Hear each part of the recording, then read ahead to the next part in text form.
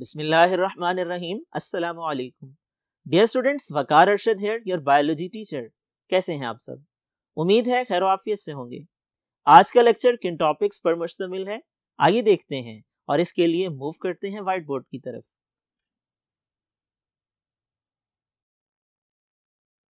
Dear students आज हम शुरू कर रहे हैं नया चैप्टर आगाज़ करते हैं नए चैप्टर का बेसिक इंट्रोडक्शन से।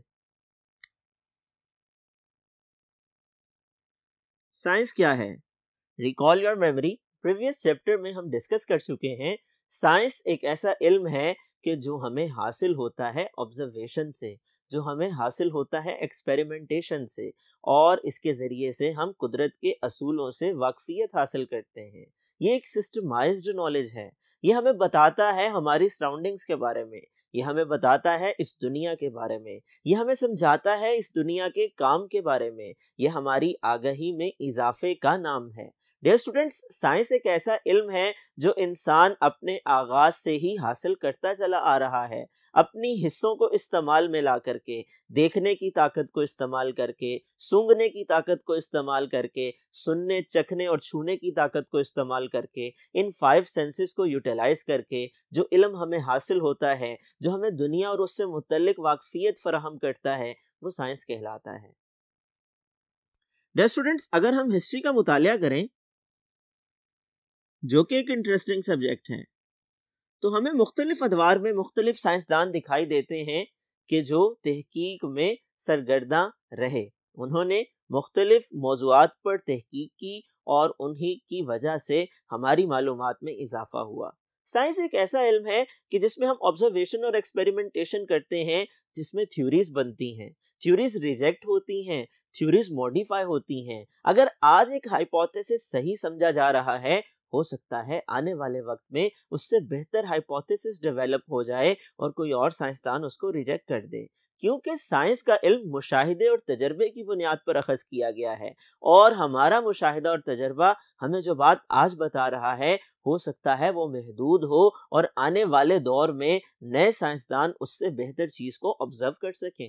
डियर स्टूडेंट्स अगर हम तारीख का मुताल करते हैं अगर हम साइंस को स्टडी करते हैं तो इब्तदा में साइंस का इल्म बहुत लिमिटेड था, बहुत महदूद था, इतना महदूद था कि उसको ब्रांचेस में डिवाइड करने की भी ज़रूरत नहीं थी। इब्तदा में इंसान शिकारी था जानवरों का शिकार किया करता था, फलों को इकट्ठा किया करता था और पौधों की जड़ों को इकट्ठा किया करता था। जो जो उसके इलम में इजाफा होता गया। जानवरों के ठिकानों से मुतलिक आगाही बढ़ती चली गई, उतना ही वो कामयाब शिकारी बनता चला गया। जो जो उसके पौधों से मुतलिक इलम में इजाफा होता चला गया। उसने ये फ़र्क वाजह करना सीख लिया कि कौन से पौधे खाने लायक हैं और कौन से नहीं खाए जा सकते हैं। डियर स्टूडेंट्स तारीख का मुताल किया जाए तो इब्तदा से ही बायोलॉजिकल मेथड ने बड़ा अहम किरदार अदा किया है साइंटिफिक रिसर्च के मैदान में, साइंसी तहकीकात के मैदान में। अगर हम बात करें तारीख की तो 500 साल पहले भी साइंटिफिक रिसर्च में बायोलॉजिकल मेथड का बड़ा अहम किरदार था। उस वक्त से लेकर के जब गैलीलियो एक साइंटिस्ट था आज के दौर तक biological method as it is इस्तेमाल होता चला आ रहा है और इस चैप्टर में हम पढ़ने वाले हैं बायोलॉजिकल प्रॉब्लम के बारे में बायोलॉजिकल मेथड के बारे में। आइए डिस्कस करते हैं सबसे पहले बायोलॉजिकल प्रॉब्लम से मुतलिक स्टूडेंट्स बायोलॉजिकल प्रॉब्लम दो अल्फाज का मजमुआ है। बायोलॉजिकल एंड प्रॉब्लम बायोलॉजिकल का लफ्ज बायोलॉजी से रिलेटेड है और प्रॉब्लम का मतलब मसला होता है। इसकी डेफिनेशन आप प्रिसाइज करके कर सकते हैं। It is a question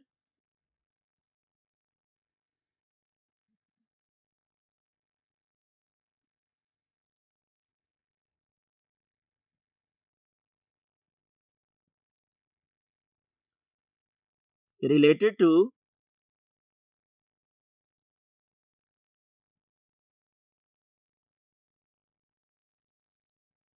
living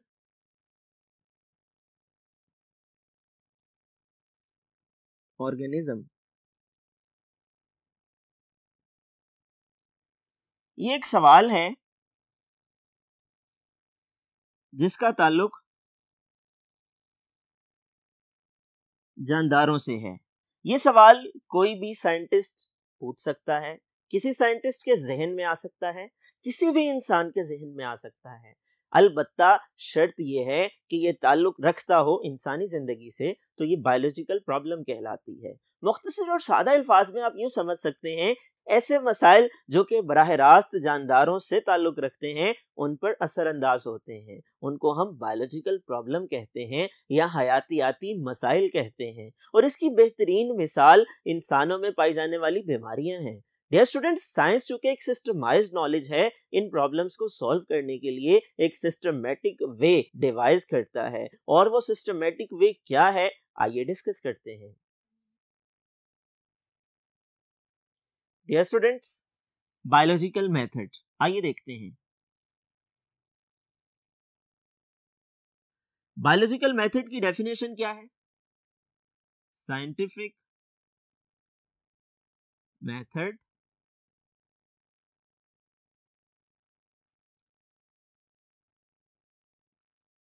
that is used to solve biological problems.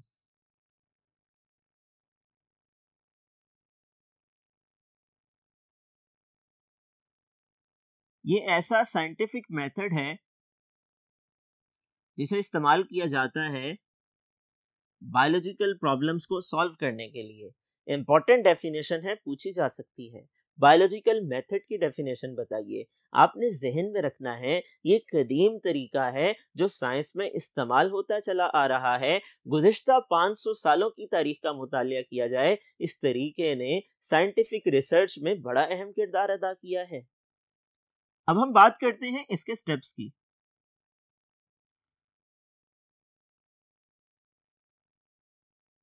Dear students scientific method जो कि बायोलॉजिकल प्रॉब्लम को सॉल्व करने में इस्तेमाल होता है बायोलॉजिकल मेथड कहलाता है और इसके मराहल ये हैं। Number one recognition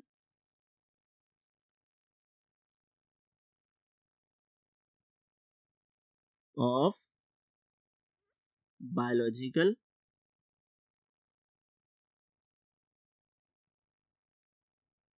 problem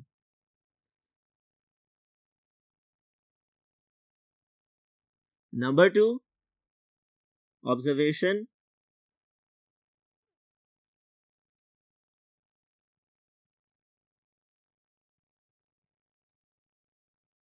Number three, hypothesis.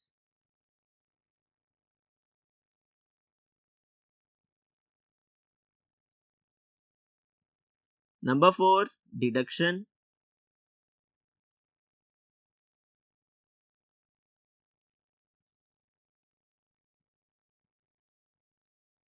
Number five, experimentation.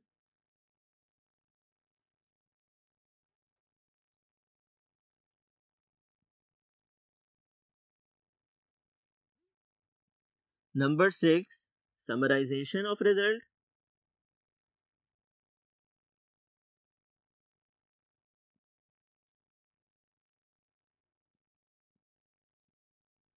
और नंबर सेवन है reporting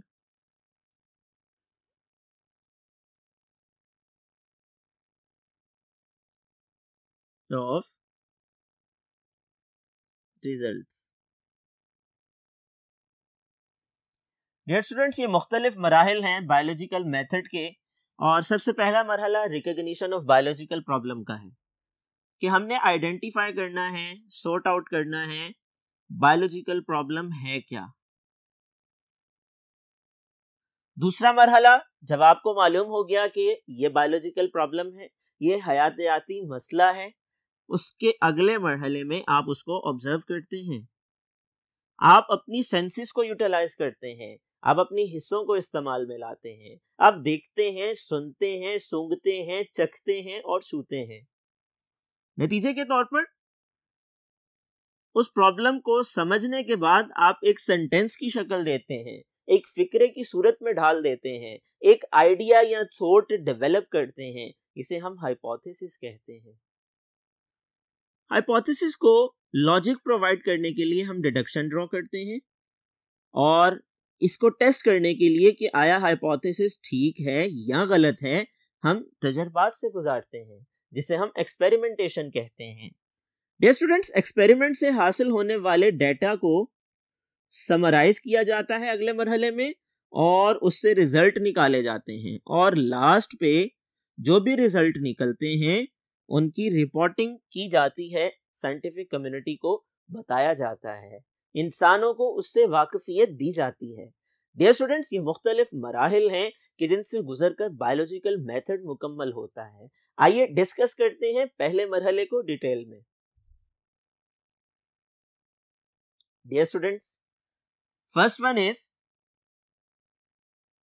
recognition of biological problem biological problem क्या है? Question related to living organisms वो सवाल कि जो ताल्लुक रखता है जानदारों से। आइदर आस्क बाय समवन कोई भी आपसे पूछता है, या साइंटिस्ट के माइंड में खुद ब खुद आता है। इसको हम बायोलॉजिकल प्रॉब्लम कहते हैं। पहले मरहले में इसको रिकॉग्नाइज किया जाता है सॉर्ट आउट किया जाता है, तलाश किया जाता है, पहचाना जाता है। मिसाल के तौर पे, मलेरिया एक बीमारी है। सबसे पहले इससे मुतलिक इलम होना चाहिए कि ये एक बीमारी है। इसको रिकग्निशन ऑफ़ बायोलॉजिकल प्रॉब्लम कहते हैं। दूसरे मरहले में हम इस पर ऑब्जर्वेशन करते हैं, अपनी सेंसेस को इस्तेमाल करते हैं, अपनी हिस्सों को यूटिलाइज करते हैं और इसको ऑब्जर्वेशन का नाम देते हैं। आइए डिस्कस करते हैं। ऑब्जर्वेशन ऑब्जर्वेशन में हम smell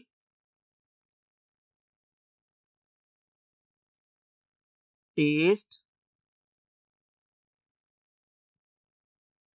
touch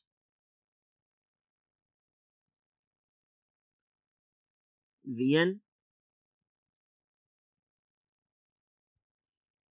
and hearing सूंघते हैं।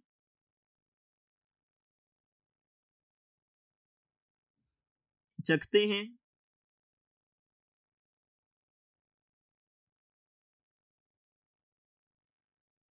छूते हैं, यानी टच करना। देखते हैं।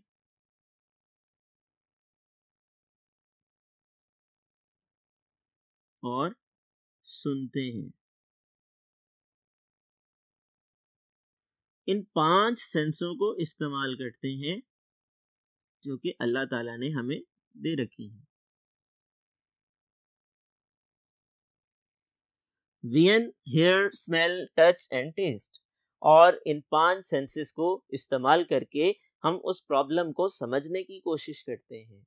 हम उससे मुतलिक तारीख का मुताल करते हैं कि इस प्रॉब्लम पर और क्या काम हो चुका है। किन साइंसदानों ने इस मौजू पर तहकीकात की हैं? हम उसको भी रीड आउट करते हैं।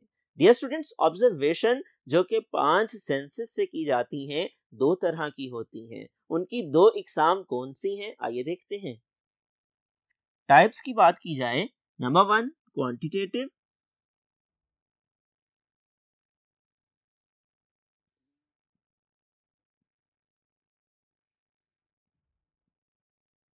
और number two qualitative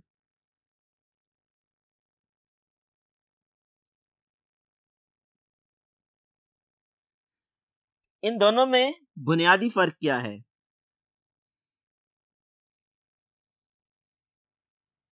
students quantitative observation को हम मकदारी मुशाहिदात भी कहते हैं। ऑब्जर्वेशन के लिए उर्दू में एक लफ्ज इस्तेमाल होता है। मुशाहिदा।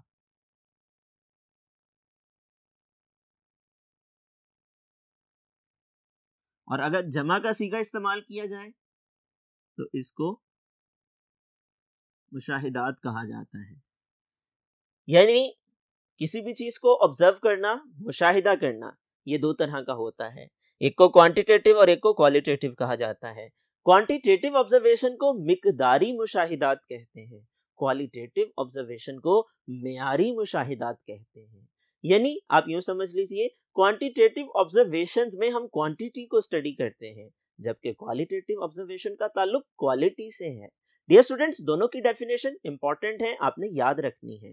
क्वांटिटेटिव ऑब्जर्वेशन की बात की जाए, आप इसकी डेफिनेशन यूँ कर सकते हैं। These are invariable measurable and can be recorded in terms of number जबकि क्वालिटेटिव ऑब्जर्वेशन की डेफिनेशन आप यूँ कर सकते हैं। These are variable not measurable and can not be recorded in terms of number यानी ऐसी ऑब्जर्वेशन के जो वेरिएबल नहीं होती फिक्स होती हैं स्पेसिफिक होती हैं, जिनको रिकॉर्ड किया जा सकता है, जिनकी पैमाइश की जा सकती है, वो क्वांटिटेटिव है। और जो वेरिएबल होती हैं, जिनको रिकॉर्ड नहीं किया जा सकता, जिनकी पैमाइश नहीं की जा सकती, यानी मैयर नहीं किया जा सकता, वो क्वालिटेटिव ऑब्जर्वेशन होती हैं। आइए दोनों की मिसालों को डिस्कस कर लेते हैं। Dear students examples